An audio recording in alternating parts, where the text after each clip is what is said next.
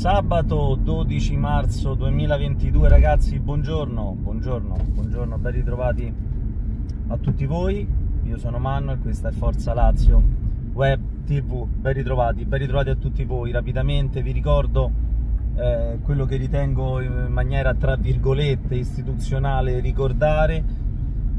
Quando siamo in diretta ragazzi vi ricordo che eh, lo siamo anche sul nostro sito laziolive.tv ok? Questa è la prima cosa perché è la cosa più importante.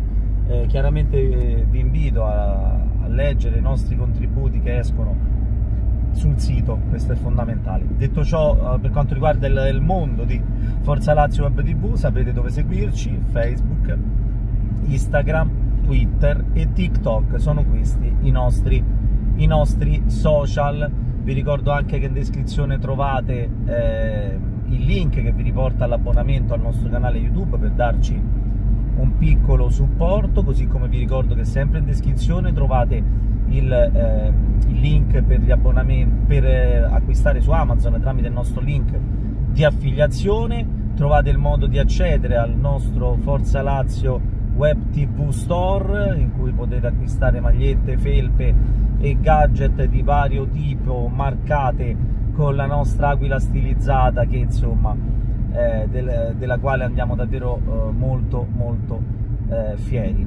Eh, inoltre ragazzi mi raccomando la cosa bella di cui parlo sempre è quella di fare eh, vita social di fare comunità di scambiare eh, pareri opinioni. A me piace molto leggere i vostri commenti sotto i vari video l'interscambio di idee di, insomma è bella è una cosa che io reputo eh, centrale, centrale per quello che riguarda eh, il progetto di Forza Lazio Web TV. Qualche, qualche tempo fa, durante una diretta, eh, scrisse uno dei tantissimi eh, ascoltatori silenziosi eh, dicendo che appunto apprezzava molto di noi il fatto che leggessimo tutti i commenti eh, che arrivavano nel corso della, della diretta. Beh ragazzi, non, non, avrebbe senso fare il contrario per come, per come la vedo io, finché siamo nell'ordine dei commenti che eh, te ne arrivano, noi, noi ce ne arrivano circa 200-300 commenti a live, sono gestibili, chiaramente te ne arrivano 1000-2000, devi fare una scrematura e questo però sarebbe tutt'altro, chiaramente tutt'altro discorso. Ma entriamo un pochino nel dettaglio del video di oggi, argomento di oggi, eh, è un sabato particolare, ripeto, eh, abbiamo già raccontato ieri che eh, nella diretta di ieri sera che Radu è in forte dubbio, io continuo a dire che per me Radu alla fine gioca, eh, Radu è in forte dubbio, però dobbiamo raccontare la cronaca, ecco, mentre molti già danno Radu out sicuro al 100%, per quanto mi riguarda invece è la giornata fondamentale, nemmeno è quella di oggi, è quella di domani.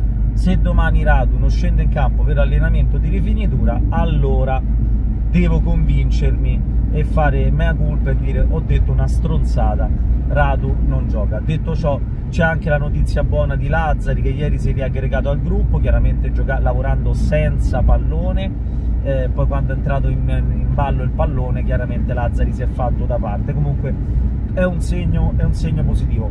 Diciamo la verità, per le difficoltà che ha la Lazio tra squalifiche e infortuni, capita la partita giusta. Mi raccomando, è importante che io non sia travisato quando dico queste cose. Se devo giocare, però, non, nel senso non sto sottovalutando il Venezia, è un dato di fatto che la Lazio è nettamente di un'altra categoria rispetto al Venezia, è nettamente più forte. Ora fate tutti gli scongiuri del caso, fate quello che vi pare. Io parlo per dati di fatto. Quindi meglio è una fortuna che tutti questi disagi di formazione stiano capitando adesso per come la vedo io. Eh, detto ciò, detto ciò però, eh, andiamo un pochino anche a vedere il Venezia che squadra è. Squadra invischiata nella, nella lotta salvezza, è una squadra che vi ricordo deve ancora recuperare una partita contro la Salernitana che può in maniera eh, importante eh, segnare la stagione di questa squadra, c'è poco da fare e questo è già un dato di fatto. Eh, detto questo, eh, cosa dire del Venezia? È la squadra che eh, è tra i peggiori attacchi del campionato, non c'è proprio storia, tra i peggiori attacchi del campionato, è tra, eh, se non sbaglio, è la peggior, vado un po' a memoria ragazzi, eh, è la peggior difesa del campionato, quindi comunque sono tutti numeri che in qualche modo riconducono verso il valore reale che questa squadra ha, non me ne vogliano i tifosi del Venezia. Eh, aspetto arbitrale, andiamo pure a dare un'occhiata all'aspetto arbitrale perché c'è qualcosa di particolare che mi lega all'arbitro di lunedì sera che sarà Manganiello. E eh, Manganiello eh, l'ultima volta che ha allenato la Lazio risale a due anni fa. E io la ricordo benissimo quella partita perché in qualche modo fu la partita che diede il via a quella rincorsa al sogno scudetto della Lazio a quei quattro mesi a livelli clamorosi in cui la Lazio dettava legge su tutti i campi a Brescia la partita a Brescia dove la Lazio vinse in rimonta all'ultimo respiro. E in quella partita ad arbitrare era proprio Mangagnello da quel momento Mangagnello è sparito dai radar delle partite della Lazio ne farà ritorno domani, eh, scusatemi, lunedì sera 20 e 45. Tra l'altro ne approfitto per ricordarvi che chiaramente Forza Lazio Web TV andrà in diretta, ci sarà un breve, eh, ci sarà un pre-partita diretta e quindi insomma eh, è un po' spartita per parlare insieme di, di ciò che avremmo, che avremmo visto. Manca secondo me il faro di questa squadra lunedì ed è un altro fattore che obiettivamente va a nostro favore e dobbiamo ragazzi eh, tenerne conto, parlo di Aramo, il regista, il giocatore tecnicamente meglio dotato di tutta la formazione, eh, di tutta la formazione eh, del Venezia, è il giocatore che, dà, che ha tecnica, che fa l'ultimo passaggio e quant'altro, però Aramu ragazzi eh, un pochino ha fatto sentire anche il suo peso in negativo perché Aramu vado 1, 2, 2 sì, vado a memoria, Aramu ragazzi ha sbagliato due calci di rigore nel corso di questa stagione che pesano come macigni sulla classifica del Venezia. Insomma, tutto questo perché questi vari input e queste cose qua, per dire che ragazzi, eh, ripeto, lo ripeto, l'ho detto all'inizio di questo video, massimo rispetto per il Venezia, così come proprio la cultura sportiva deve insegnare a rispettare sempre il, eh, il proprio avversario sempre. Però i dati, eh, sono dati di fatto.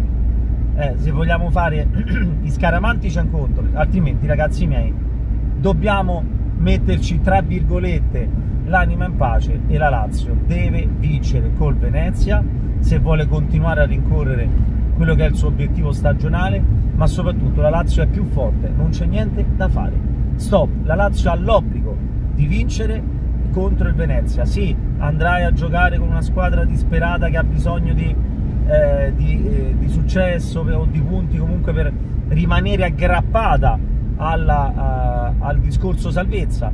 È altrettanto vero però, ripeto, l'aspetto emotivo la farà da padrone a queste ultime 10 giornate, soprattutto facciamone passare a 3-4 e poi l'aspetto emotivo legato agli stimoli farà ancora di più la differenza. Però attenzione perché per esempio oggi ora non mi ricordo la partita, scusatemi, oggi c'è una Spezia Cagliari, se non sbaglio, c'è una partita cruciale per la lotta salvezza, cruciale per la lotta salvezza, che in qualche modo chiama in causa anche il, Vene il Venezia e anche il risultato della partita di oggi potrebbe rappresentare una di quelle famose variabili di cui parlo sempre io nella testa del, della squadra del Venezia. Resta il fatto che la Lazio non deve fare sti calcoli, la Lazio deve giocare la partita da Lazio e la Lazio se la deve portare a casa. Che bella quest'ultima frase che ho detto, ho nominato tre volte la parola più bella del mondo, Lazio, ecco. Con questo ragazzi mi fermo qua, volevo solamente darvi un contributo, un mio modesto contributo in termini numerici, statistici legati al Venezia, abbiamo quindi detto che eh, ha tra, è tra i peggiori attacchi del, eh, del, campionato, è tra le peggiori difese del campionato, anzi secondo me è proprio la peggiore in assoluto. Vado tutto a memoria ragazzi, eh. io studio molto i numeri della Serie A, però adesso onestamente di prima mattina sto andando molto a memoria. Questo è quello che eh, chiaramente eh, abbiamo detto. Giocherà, eh, ecco, ecco, ecco, a parte Aramu eh, o, o Kere, che vabbè ormai abbiamo capito che è un giocatore molto interessante, però c'è un altro giocatore che a me eh, piace perché ha caratteristiche tutte sue, giocatore di peso, bravo di testa, Henry, Henry l'attaccante del Venezia, tra l'altro ha segnato 6 gol eh, per il Venezia, è colui che eh, ha fatto più gol in tutta la squadra e attenzione, attenzione, dei 6 gol segnati, 5 li ha segnati di testa. Stiamo attenti a sta cosa, stiamo attenti a questa cosa. Indica piccola indicazione alla nostra, alla nostra difesa. Con questo ragazzi io mi fermo qua, vi auguro di nuovo un buon sabato 12 marzo 2022, vi mando un caro abbraccio, sicuramente nell'arco della giornata usciranno altri, eh, altri video perché chiaramente eh, ricordiamoci che c'è da, da, da, dare la formazione al fantacalcio, no? questo mi pare abbastanza, abbastanza chiaro, quindi assolutamente, sicuramente faremo un altro, eh, un altro video. Con questo ragazzi io mi fermo qua, vi mando un abbraccio forte e come sempre chiudiamo noi. Forza Lazio a tutti, ciao!